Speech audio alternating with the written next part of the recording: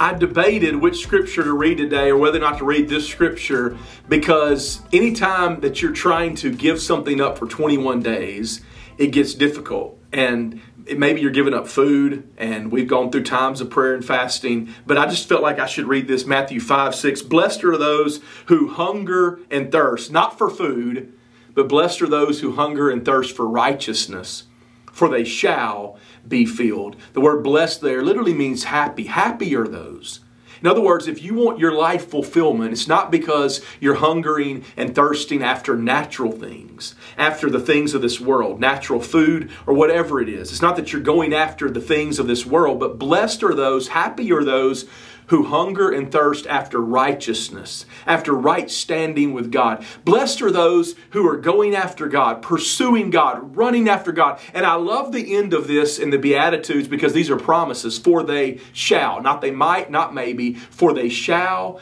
be filled. So God's promise is you come empty and you hunger after the right things. And God says, I promise you I will fill you. Today, if you'll run after Him, if you'll chase after Him, if you'll not let the things of this world distract you and pull you away, but you will go after God with everything that you've got and hunger and thirst after Him, the promise is He's going to meet you and He's going to fill you. Father, right now we run after you, we pursue you.